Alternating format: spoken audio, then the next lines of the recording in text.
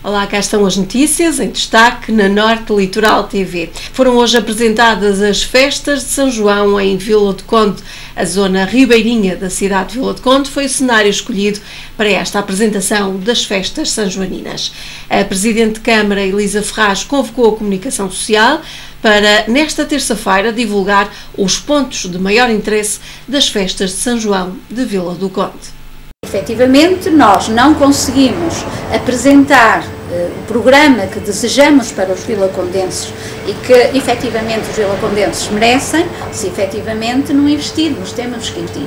E investir na cultura é importantíssimo e eu coloco no mesmo patamar de que qualquer outro tipo de investimento. E isso tem sido uh, um ponto de honra, digamos, do trabalho deste Executivo. E, portanto, efetivamente é isto que eu tenho que dizer. O investimento é à medida do que, daquilo que os vilacondenses nos exigem, que esperam e que merecem. Esta é uma notícia a que daremos maior destaque na edição de amanhã do Jornal Litoral. A imagem de Nossa Senhora da Saúde já está na Igreja Matriz da Póvoa de Varzim. Como tradicionalmente acontece, a imagem fez o trajeto em carro aberto dos Bombeiros da Póvoa entre a Igreja de Laundos e a cidade.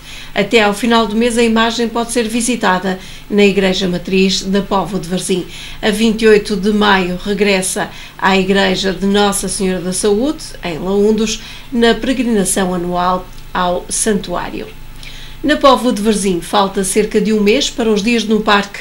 O evento decorre de 8 a 11 de junho, pretende juntar mais de 50 mil pessoas no Parque da Cidade da Póvoa de Varzim.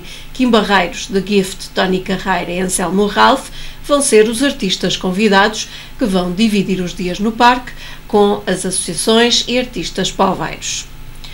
O Fórum de Formação e Opções Profissionais acontece de 20 de abril a 23 de maio, na Póvoa de Varzim. Este fórum visa promover a divulgação das possibilidades profissionais para os alunos, para que estes possam tomar as suas opções com o máximo de informação possível.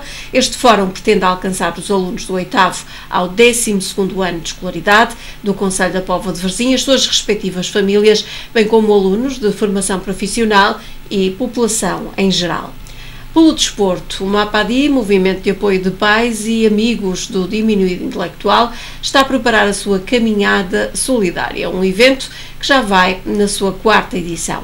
A iniciativa tem lugar no dia 20, próximo sábado, sendo que a partida será às 10 horas na instituição Poveira, na rua José Régio, e a chegada 7 km depois será no Polo de Terroso de Mapadi. No final haverá um almoço convívio entre os participantes com caldo verde, bifana e bebida.